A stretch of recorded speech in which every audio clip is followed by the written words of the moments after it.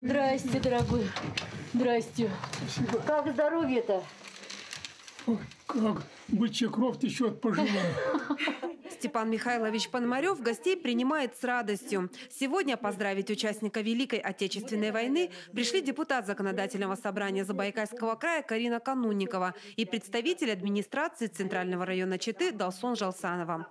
Большую часть времени Степан Михайлович живет на даче возле леса. В город приехал, чтобы принять участие в празднике Победы. Специально для гостей ветеран впервые за несколько лет открыл свой сейф, где хранится офицерский кортик. Оружие ему вручили в день 70-летней годовщины окончания Второй мировой войны. Степана Пономарева мобилизовали в 1942 году. Тогда он жил в Алтае. После трехмесячной подготовки он должен был отправиться на Ленинградский фронт, но получилось все иначе.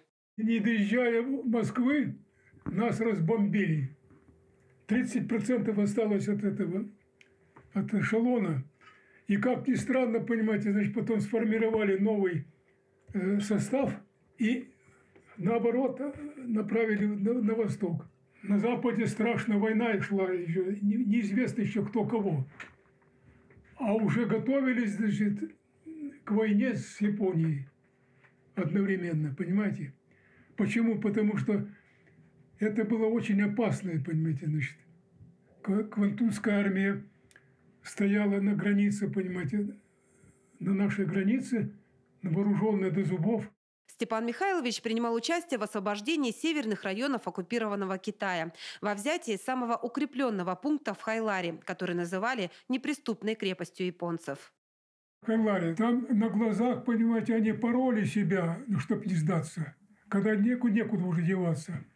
У них это в крови, чтобы не, не, не сдаться. Ну, в основном пленили. Это отдельные такие уже, знаете, их нерелигиозные были, значит, которые не сдавались полностью. Значит, лучше умереть самому, чем этот самый не сдавать. Решающая значит, победа это была за авиацией. А их расстреливали прямо буквально это целые отряды. Мы шли по, по гальяну, понимаете, так. Знаете, гальян такой, трава. До двух с половиной метров это самый стебель в них-то. Они прятались в этом гальяне. Их там, понимаете, значит, разбомбили, так мы по трупам шли, понимаете, значит, полчаса.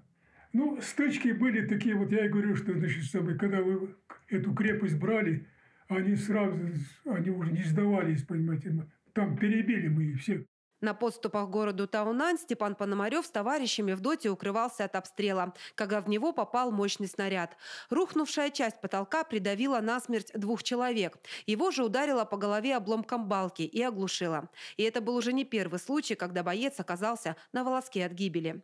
После окончания войны Степана Пономарева направили на службу в правоохранительные органы. Более 35 лет ветеран прослужил в транспортной милиции. Он ушел на отдых в звании полковника почти в 60 лет 30-летнем возрасте.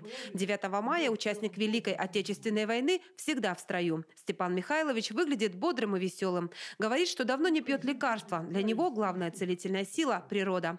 Возможно, еще и потому, что мама родила его буквально в поле воржи, когда убирала урожай. А теперь вокруг ветерана, как молодые ростки, поднялись дети, внуки, правнуки и даже праправнуки. Всего у Степана Михайловича 30 потомков.